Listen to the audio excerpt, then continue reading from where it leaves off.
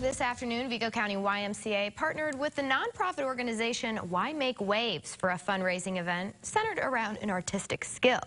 Linda Lou Rogers instructed participants on the Bob Ross style of painting. Besides the canvas painting lesson, cookies were also available for purchase.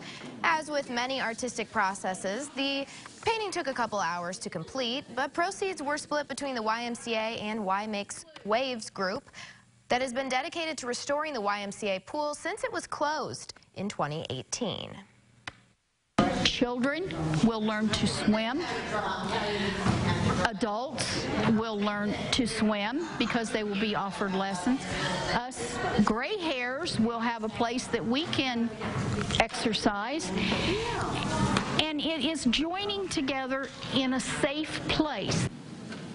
Now, while there is still no official opening date for the YMCA pool, Mayor Duke Bennett said on October 30th that the pool should be ready in about 30 days.